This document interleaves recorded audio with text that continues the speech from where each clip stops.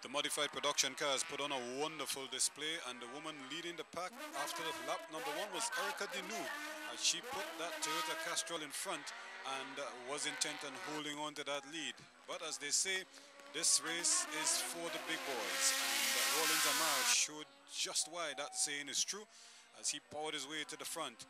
Followed closely, of course, by the new kid on the block, none other than Rickard Asbjornsen in that Honda Carib but there is Amar just cruising along at the front of the pack, forcing the others to have to play catch up. And boy, did they ever try. Asbjornsen tried his luck at one stage as he pushed for second place, but there was Dinu just keeping things tight at the front as she really gave it her best shot. But on the day, it was too much of Rawlings Amar's experience telling he won easily ahead of Dinu with Asbjornsen picking up a creditable third place in only his first race of the day. He was back for a third place finish later on in the afternoon. In the Carib Stock Car Series, it was another one for the book, so to speak, because a big field was on hand for this one, and the Speedway car with Gary Hunt at the controls took control of proceedings very early on and dared the others to stay with him. Now the conditions were really proving to be a big test. Already we saw one or two cars, including the Rocket with Chris Figuera on board, being a victim of the conditions, really pushing and shoving all around the place as the drivers tried desperately to keep control of their cars. The Speedway car, time and again, uh, almost lost control, but excellent handling skills by Gary Hunt kept it in the frame. But with just about five laps to go, Gordon Gonsalves put the Carib car in front, quite appropriately one would have to say, this was the Carib Stock Car Series, and nobody could lead him after that. It was expertly driven under difficult conditions, and uh, you could see the Valvoline Ashmead Mohammed followed closely there by the Castrol car with David Azad on board, and those two really had their own battle going.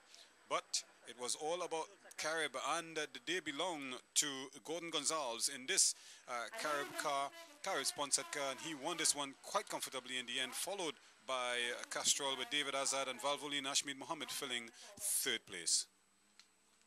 It was a small but youthful crowd assembled to have its need for speed satisfied, and uh, well, they weren't disappointed when they saw the big boys in the GTU class getting it on in a 10-lapper event men like Jason Chen, the only Lotus around, uh, trying to keep tabs on Ravi Singh in one of a number of RX-7s in the frame.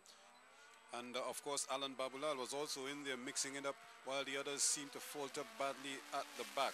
So it became Jason Chen's chase of Ravi Singh in his RX-7, followed closely by Allan Baboolal in third place. But on the eighth lap, disaster for the Lotus because on that final curb, he just seemed to go too wide and uh, mishandled a little bit and Baboolal was there to pounce. He assumed second position and held on down the stretch to come in safely behind the winner Ravi Singh followed there by Allan Baboolal and Jason Chen in third place in the Lotus. So a big victory there for Ravi Singh as he celebrates in style. The crowd assembled there also saw the rally cars doing their bit in the first event of the evening. It was won easily by the Green Sentra with Shelford Robinson at, at the controls.